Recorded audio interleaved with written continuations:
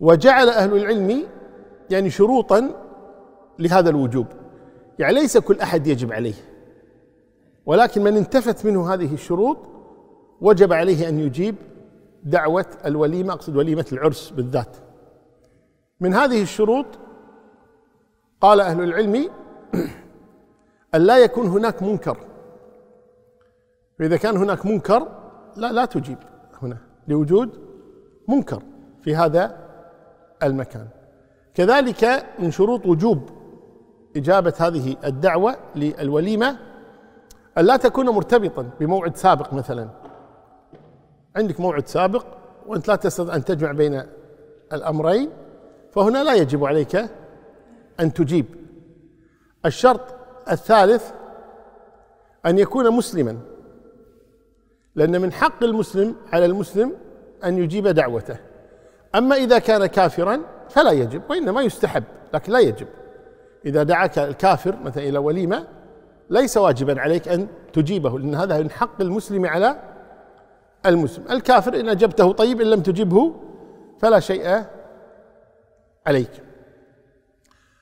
من الشروط كذلك أن لا يكون هذا الداعي إلى الوليمة ممن يجب هجره كأن يكون معلنا عن بدعة مثلا معلن بالفسق معلن بهذا. هو معلن بالفسق هذا يجب هجره. فهذا أيضا لا يجب عليك أن تجيبه. كذلك ذكر أهل العلم من شروط وجوب إجابة الداعي أن لا يكون ماله حراما. كأن يكون مرابيا كأن يكون آه، يعني آه، يغش يرتشي يرتشي يعني ماله, ماله حرام كما يقال.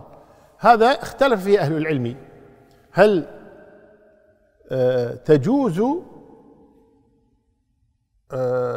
يعني هل يجوز له أن يقبل دعوته أو لا يجوز؟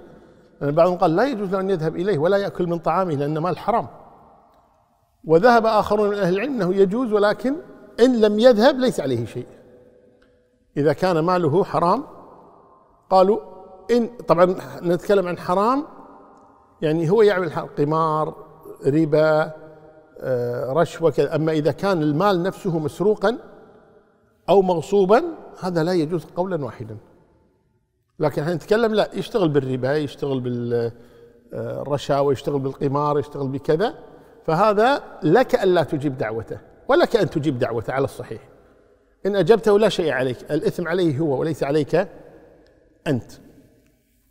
قال أهل العلم كذلك إذا كنت صائما ودعيت إلى وليمة خلينا نقول غدا مثلا غداء ودعيت إلى الغداء إن كان هذا الصيام واجبا كان يكون صيام قضاء صيام نذر صيام كفارة.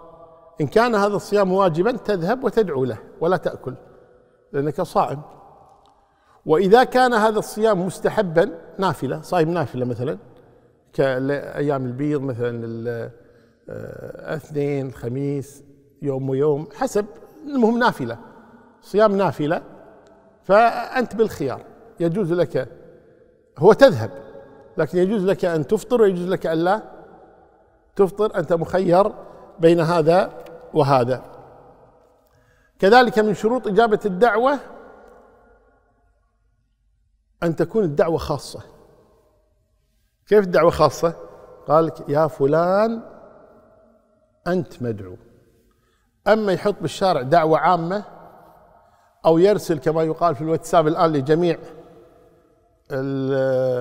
المضافين عنده مثلا يقول دعوة عامة هذا لا يجب دعوته إجابة دعوته. وإنما إذا خصك قال يا فلان أنت مدعو.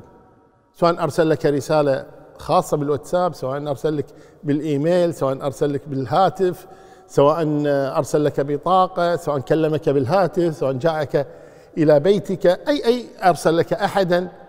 المهم إذا خصك بالدعوة وجبت دعوة إجابة دعوته أما إذا لم يخصك بالدعوة وإنما دعوة عامة. دعوة عامة. كثير من الناس اليوم يقول دعوة عامة للجميع. هذا لا تجب إجابة دعوتي والله المستعان. طيب.